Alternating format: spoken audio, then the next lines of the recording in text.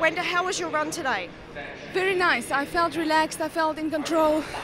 It's a very, very quick track. Um, so I really hope I can build on this one to the next. I'm very, very close to my PB.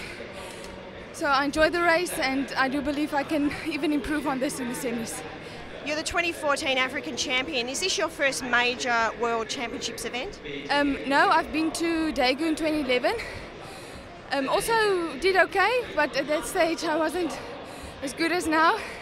So hopefully I can progress to the final this time. And what's the strength, the strongest part of your race? The last stretch.